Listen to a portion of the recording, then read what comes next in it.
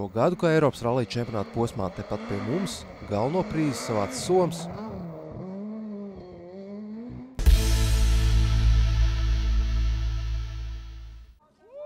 Pēc trīs nedēļu ilgas īkšķu turēšanas par mūsu olimpiešiem, stafets zilajos ekrānos atkal esam pārņēmuši mēs, tie no autosporta atkarīgie. Nebija jau tā, ka šajā pauzē slinkojām, kaut vai apmeklējām vienu no Latvijā vērienīgākajiem autosporta pasākumiem – Raimonds Trokša, kurēto Eiropas rallija čempionātu posmu Liepājas pusē.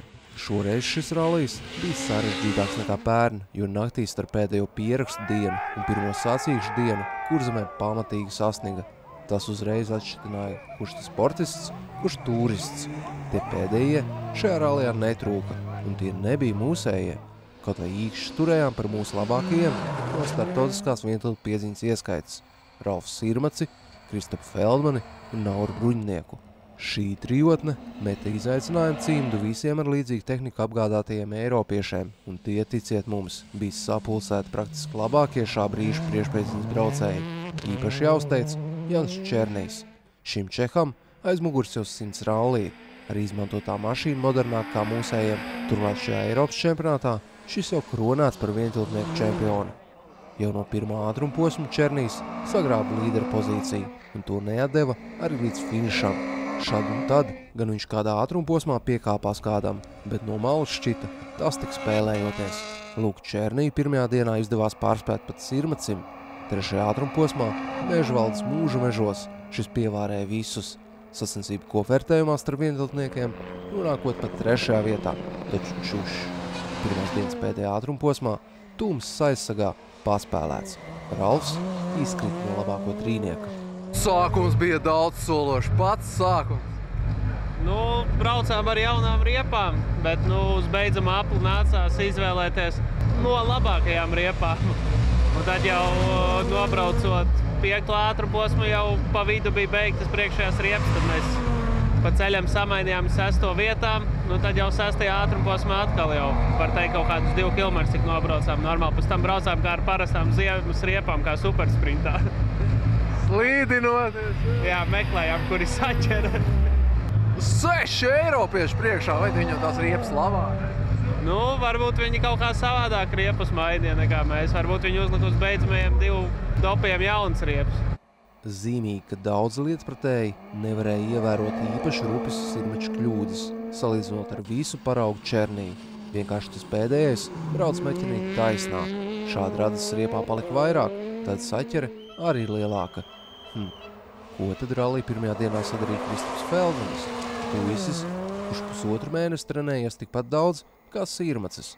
No savu komandas biedra bija ieplicis par minūti.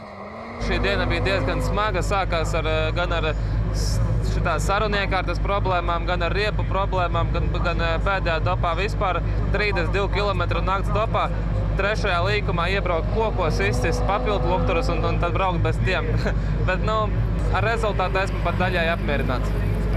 Bremzē vēlāk par visiem! Nu, cenšos jau kaut ko uz to bremzēšanu vinnēt, bet uh, bija pēdējā topā vietas, kur es tieši zaudēju vēlo bremzēšanās. Bet, nu, nekas ir saņemsimies, rītdien būs labāk. Var vēl noķert savu komandas biedru? Es domāju, ka Latvijas čempionātā rītdien pacīnīsimies, bet par Eiropas es pat nezinu un arī nemaz neiesmīgs. Tā kā būs tā, būs galvenais Latvijas čempions un Latvijas punkti. Pārējais teikts, lai arī Eiropas čempionātā finiša rezultātā elītais bija paredzēts otrās dienas vakarā, Latvijas čempionāts līdz ar pirmo dienu bija noslēdzies. Nākamajā dienā norisinājās otrais posms Latvijas mačiem. Tad spēle no jauna arī Naurim Bruņniekam. Viņš atkal pirmajā dienā bija no Feldmaņa ieplicis par pusotru minūti. Tur jau puiši trenējās septiņas dienas nedēļā, man piecas no viņām vismaz ir jāstrādā.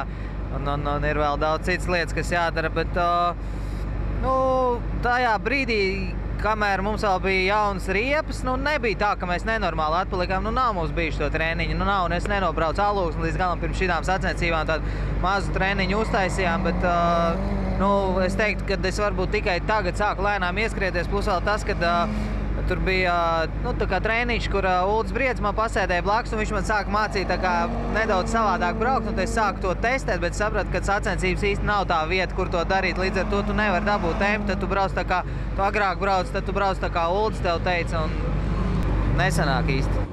Beidz, Nauri. Tev auto tā kā atšķirībā no pēdējās viesošanās Liepājā šoreiz vesels. Lūk, kāds pirmās dienas finišā ieradās Jānis Krītskis, jaunietis, kurš nosolījies apbraukt visus latviešus ar priekšpēdziņām, rādīja vienkārši brīnumus, kā savākt bijušo Nauru viļņieku aprātu un neizbēgmām sānslīdēt, taču šetams pārdegts.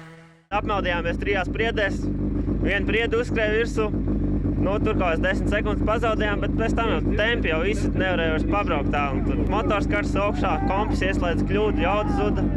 Kaut kā servis parkā savādām kārtībām braucām savā tempā lēnām uz galu. Labā puse priekšpusē bija pāri. Jā, vispār teikt, tumsā gaismas nedega, kad mēs čakarējāmies, vēl pirms dopa regulējām, tad pirmo nakts dopa pilnīgā tumsā, var teikt, nobraucām. Mums spīdēja gaismā, priedz, priedz galvets varēja redzēt tikai. Ai, šitā vieta no pēdējiem. Jā, bet mums, domāju, otrajā naktas dopā bija diezgan labs rezultāts. Pats vēl neesmu visu dienu redzējis rezultātus, bet, nu, rīt dosim virsū. Eh, otrā diena Krītskim bija katastrofa. Jau dienu iepriekš viņš sūdzējās par pārāk izļurkātu balstiekārtu. Tā nu rupi samatināt, kur var, un re, ritenis nost, un rezultāts tu tū. Likās, šis rallijs deva priekšstatu, kāda nu vispār izskatīsies situācija šogad Latvijas čempionātā vientiltu piedziņas klasēs. Un lūk, skaļi varam paziņot, kopš šī gada dzīvot spējīga būs tikai viena ieskaita – tā, kur barvedis ir sirmacis, jo tā, kur pērnu laureātos bija Edgars Balodzes, cīnītājs nebūs pat Balodzes. Visi spējīgākie atraduši visdažādākos veidus, kā Latvijas ieskaitē cīnīties par sirmaču noskatīto kausu visām startautisko klašu mašīnām. Nacionālajā ieskaitē te bija tikai viens cīnītājs – Eriks Ozoliņš, un tas pats abas dienas tehnikas ķibeļu dēļ nefinišēja. Jā, balodas nu gājas, Mārča ķēnau pēdās. Nu Igaunijas mājās atsas līdzīgs Japāņa aparāts, un pirmā dienā es dīta, tu iepazīstot. Tāpēc pirmajā dienā iepalikt no sirmeča 9 minūtes ir saprotami sākam pierast tagad uz gonkas beigām, jau varēja sākt saprast, kā viņi tur slīd un kā, kā bremzējās un kā griežās. Nu, forši, nu. Priekš tā, ka tas ir tāds garš pirmais treniņš bijis, uzskat ļoti labi. Nu, jā, es zinu, ziemā pārdomāju, jā, skaties Mārķis ķenau laikus, tad laikam bija tā īstā izvēle šai mašīnai. Nu, skaidrs, ka nevar. Es arī pats neceru šobrīd, kad ziemā sanāks baigi cīnīties ar ar jauniešiem, bet nu, gan jau, ka nāks vasaras gonkas, tikmēr jau paspēs iebraukties, patrenēsies, vēl būs jau labi. Nu, kas trūk šai mašīnai ziemai? Pirmkārt, normāls riepas ir jāuzliek virsū, nevis pašam tur jāgurķojas vecām iziņām kaut kādām startā. Nu, pats vainīgs. Balods gan otrajā dienā nebija cīnītājs. Uzteica ātrumkārba. Toties uzspīdēja cits Emīls Blūms, jaunietis, kurš finansējuma dēļ starp sezonā atteicās no dalības Latvijas vientiltnieku sapņu komandā, šogad brauks ar reizi izmantotu Hondu. Tā teikt arī turēs godam ķeravu ierādīto virzienu, jo pats Mārcis nu ar savu raulistu karjeru iepauzē. Viņš nu palīdz darbos Aināram Igaveņam. Ja stāsts par blūmu, tad viņš sacīs otrajā dienā spēja apbraukt visus latviešus no priekšpēdziņas klasēm. Piedodiet, visus izņemot sirmaci. Hei, kur tad šis bija pazudis dienu iepriekš? Vakardien otrajā ātrumposmā salūza puses, nobraucām, apmainījām un pēc tam atkal salūza. Bija problēma ātrumkārbā, kā izrādās, tā kā vakar galīgi mums negāja. Mm, šodien, šodien arī redzot, kā ir iebraukušies tavu bijušie komandas biedri. Šodien ar uh, ielas ātrumkārbu esam finišā bruņinieku vinējuši, ja runā par alfu, tad jā, es domāju, uz kilometru sekundi parasto kārbu tas ir normāli. Bet tas, ka Rāvs ir ātrs un būs grūti, viņi tas arī skaidrs. Nu, skaties, tad rallija sprinta virzienā. Tur to čempionu titulu varētu ātrāk dabūt. Nav svarīgs čempionu tituls vai cīņu un rallija sprints kā treniņš. Patiesi, kādēļ Blūmam cīnīties lielajā rallijā, kur ķipīši jau aizņemti, ja mazajā rallijā tos iegūt vieglāk, bet Emīla atbilde pārliecina, un tā visdrīzāk atbildētu arī pārējie no mūsu vientiltniekiem – Gunta Lielkāja ieskaitot. Pēc kūleņa pērn vidus Latvijas rallija sprintā šis atgriezies ar to pašu auto. Rezultātu viņam neprasījām. Rokas spiediens drīzāk par izturību. Gunta izturēja visu pilno distanci pēc cik mēnešiem?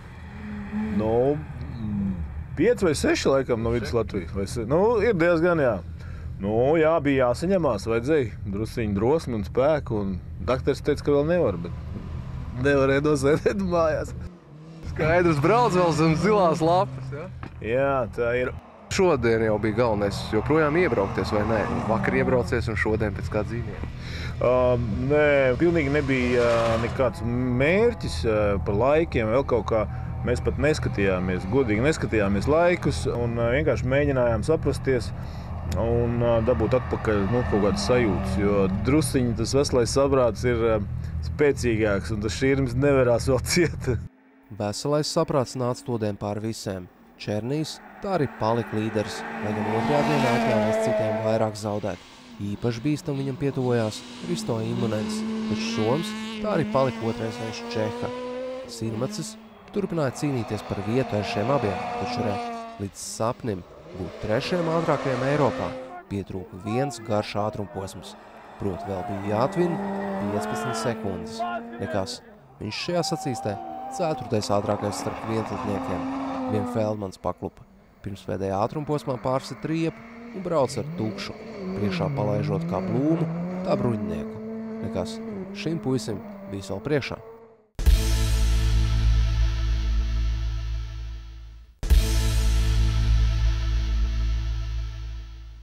Pēc reklāmas pauzes nu stāsts par startautisko pilnpieziņas ieskaitēņu 4. Aivi Eglis gan tur vairs nav, tāpēc visu mūsu uzmanību bija pievērsta Jānim Vorabjom un ieturu pauzi Mārtiņam Svilim. Tieši tā, jo pirms šīs sezonas Svils nosolījās šogad eksperimentēt, un re, no Alija Jansona garāžām izvilks sacīkšnieks, ar kuru Svils šajā rallijā drīkstēja cīnīties par uzaru sēri veida automobīļu ieskaitē.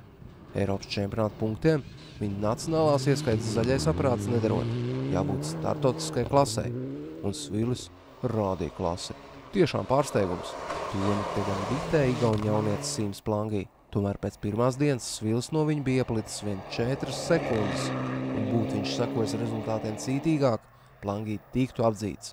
Tas vēl pie situācijas, ka Mārtiņš šim aparātam pirmoreiz pie stūras sēdās viens sacīkstē.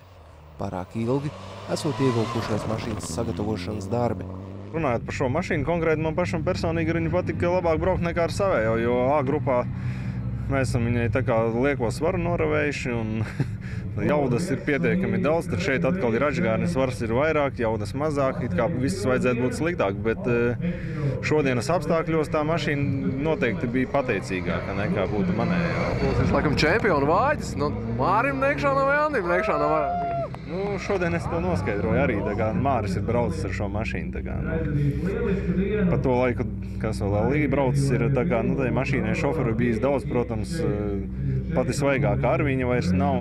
Jā, augsta rezultāta aura šim aparātam ir gan. Tiesa no sviļu vārdiem izzīlējām tikai to, ka viņš pirmās dienas finišā ieradās ļoti laimīgs. Ja tā, varbūt nosvērtāks būs viņa stūrmanis, taču šetā uz jautājumu, Kā no mašīnas labās puses izskatījies brauciens, arī atbildēts ar humoru.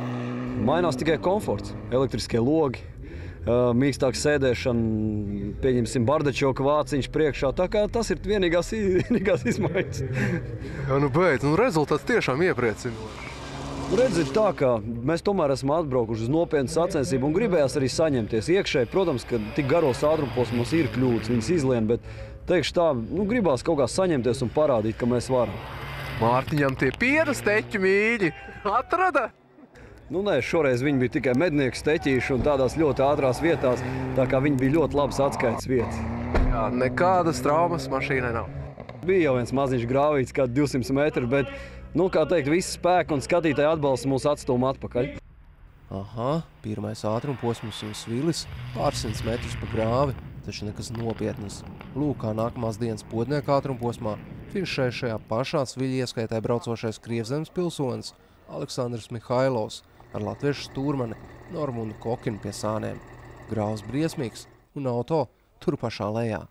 Tiesa, esam pasteigušies notikumiem pa priekšu. Gaidīts stāsts par pirmās dienas piedzīvojumiem, taču ir arī no Jāņa Vorobjau puses. Viņš tā vien sūkstējās, ka ticis iekļauts to līderu vidū, kuriem bija jādodas uz kvalifikācijas ātrumposmu, pēc kuru rezultātiem visi šī pārbaudījuma dalībnieki izvēlējās starta pozīcijas. No visiem te startējošajiem ar N grupām Vorobjovs tāds bija vienīgais, tad diezgan nevienādos spēku samēros. Tā kā vispārējie kvalifikācijā startējošie izmantoja modernākus auto, proti ātrākus. Vorobjovam nebija tā pirmā rokas starta vietas izvēlē. Nācies pirmajā dienā startēt kā pirmajam no N grupas. Tā kā naktī uz sestdienu kurzemes pusē stīpat putiņoja, brauc kā gribi, bet ceļu tu vienalga tīri visām pārējām N grupām, jo tie ātrākie jau bija izvēlējušies visas iespējamās zemākās starta pozīcijas. Starp citu, Plangi ar Suli nāca kā 7. un 8. ekipāža aiz Voribjova. Ja pasako līdz rezultātiem, tad starp tiem pirmajām 14-15 mašīnām rezultāts bija diezgan labs. Vienkārši trases mainījās, un uh, tie, kas brauc tālāk, viņi dabūja priekšrocības diezgan nopietnas. Plangī tomēr tālāk, nu Plangī identiski kā tu, nu, tā tehniski. Jā, noteikti viņas identiskas mašīnas, man ļoti līdzīgas, bet uh, viņam start, tiešām starta pozīcija ļoti paveicās. Ja, un tagad arī pat mums mēs skrējām vairāk kā pakaļ, un uh, viena no pakaļējiem svirām tika nolocīta, un uh, tā mašīna vairāk neturējās ceļā. Bet, nu, tas tā iemesla dēļ skrējām pakaļ, ka nevarējām pirmajos trīs posmos neko izdarīt. Pilnībā neko nevarējām izdarīt. Pāveicās tev Jāra gan. Vismaz viens ātrumposms pirmajā dienā vinnēts, taču tas īs. Kuldīgs puses padurē. Šāda Vorobjovs nebija labāko trīniekā pēc pirmās dienas. Minūtes starpība no plangī vispār šķita nesadeldējama, taču tad, otrās dienas rītā, nāca pārsteigums. It kā jau Igauniem laika zona ar latviešiem ir vienāda, taču plangī par stundu vēlāk bija uzlicis modinātāju. Plangī aizgulējās. Nākamās dienas laika kontrolēs ieradās ar milzīgu kavējumu. No dusmām uz sevi atkal divi dopi minēti, taču tad jau rallija centrā pie sienas parādījās sacensību komisāra lēmums. Plangī izslēgts no sacīstas. Līderu pozīciju rokās iekrita svila, taču šodien viņam nepaveicās. Paši redziet, nepareiz trajektorija un brīkšu brākšu. Svils ar trīs nolastiem ritiņiem atpās vecpils ātruma posma pļavā. Porabjovs to apjaušot, tad izšāva visu pulveri un cerētais sasniegts. Brauks bez īpašas pārgalvības un uzvar mājas ceļos, rokā gan. Jānis todien Eiropā tik pasludināts kā labākais no tiem, kas turēs sēri veidu pilnpiedziņas aparātus. Sveicam, jo pret sacīšu beigu golu brauks pat tiesa no sirds. To gan nevarētu teikt par tiem labākajiem no Latvijas čempionātā esošās otrās pilnpiedziņas ieskaits braucējiem. Sviļa nacionālās klases. No viņa tiešās ieskaits A grupas te par pirmo numuru cīnījās Elvis Hermans ar Rolandu Jaunzemu, taču tiem abiem nekā. Hermans izstājās ar kloķvārps defektu. Jaunzems atkal aizdīt cīniņu stūrmani. Šim liepais meitenes jaukuši prātu, leģendu un stenogrammu. Labi, skatījāmies tad uz Rolandu mēnesi. Šim taču briedums lielāks, un arī auto labāks, R grupas aparāts, uz kuriem bērni pārgāja visa lēža spice. Vitauds švedu, Roku Horacijus ieskaitot. Taču mēnesis no šiem iepaliek. Nav piedzīvojumi, viss labi. Sa saudzīgi, bet labi, riepas nav tik daudz. Baigi plēš riepas, nu cik bija, tik nobraucām. Taču Latvijas čempionātam tagad riepa izvēle brīva, vispār nav ierobežota. Jā, bet dārgi. Daudz iziet. Tagad, nu, uz pirmiem ātrumposmiem atgriezāmies bez radzēm. Rezultāts jau bija bišķi sabojāts, un tad eh, šodien vairāk nu, necentāmies baigi. Nobraucām lietotās riepas, nu, rīt liks jauns, jauna diena. Skatīsies, kā rīties. Nu, beidz, nu trasa ir saudzīgāk nekā pirms gada. Jā, kas to vairs atcerās? Dzirdat mēnešu vārdos depresiju? Otrajā dienā viņš vispār atteicās startēt, atrunājoties ar ekipāžas veselības problēmām. Ja tā, nācās vien fanot par Latvijas pusē, jau iemīļot lietuvieti, Vītautu Švedu. Tieši Šveds pērni iegūt to kausu, ko šogad Vorobjovs. Diemžēl sākums viņam čābīgs. Jau pirmajā ātrumposmā pievīla pusas, un Šveds pirmajā dienā skatītāji rītās. Так, впервые, что первый доп, первый старт и длинная гонка становится очень короткая. Так, э, вчера, как мы шутили, имели очень короткий, длинный день, потому что коротко ехали и чинили долго, до самого вечера, там, до 10-11, пока взяли все нужные запчасти. Так. Ну ладно, сделали, теперь более-менее. Сегодня уже начали ехать, но, конечно, как-то с покрышками не так делали, как нужно было делать. Э, не тратили их слишком много, и поэтому без šipов на такой поверхности ехать очень-очень трудно. Noturējās. Kvaracijus sestdienas uzvaru šis nākamajā dienā sagrāba sev. Tiesa kādu uzvaru. Absolūti ātrāks pār visiem tas viņa nacionālajā klasē bija cits. Maskavietis Vasilijs Grezins. Mēnesis, Švets un Kvaracijus nebija tie, ar kuriem Grezins mērījās. Tā bija viena paralēlā Latvijas čempionāta ieskaita. Primārais bija reiz par visām reizēm savā treniņu mājvietā parādīt zobus Eiropiešiem un izdevās. Eiropas čempionātā bez sīrmaču un Vorobjovu ieskaits ir vēl trešā. Tā pēdējā domāt visiem pasaulē zināmiem pilnpieziņas sacīkšu aparātiem, kuriem ir spēkā esoša homologācija un kuras ikdienā neražo 4x4 versijās. Pasaules čempionātā izmantotie VRC aparāti gan te liekti, taču visiem pārējiem dalība ļauta. Tehniski pārākstati bija Brians Bufiers.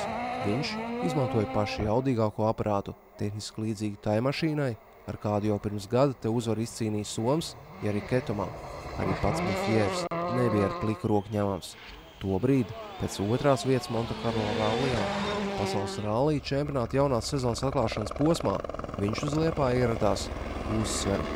Pasaulē otrs ātrākais rallists, pirmais dops padurē un uzvara francūzim, otrais dops ēdolē un izgāšanās francūzim, trīs līkumi un pāragrs finišs.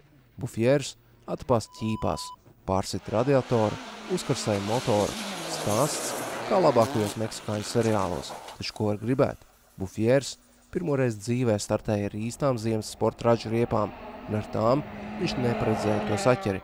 Ak jā, uzminiet, kuram gan Bufiers pēc saviem trikiem uzdāvināja līderu pozīciju. Protams, ka par mūsēju iesauktajām Grazinam. Grazins darīja, ko var. Vēl līdz pašam pēdējam pirmās dienas ātruma posmam viņš visu laiku bija rālī absolūtais līderis, tad šetam. Todien pēdējā ātruma posmā gana garā viņu par 2,5 sekundēm apsteidz Esipeka Lapī. Somi jaunā cerība vienkārši šo ātruma posmu uzlika divas jaunas riepas, kamēr Grazins tik vienu. Labi, Grazins nopūtās un otro dienu sāk no jauna. Pirmais ātrumposms rītā grumā, odniekos vinnēts, taču nākamajos sākās ķibels ar ātrumkārbi. Nācās visu laiku atzīt lapī pārākumu, un vienu dopu pirms sacīks finiša svētdien vispār Grezins palika ar iesprūdušu ceturto robu.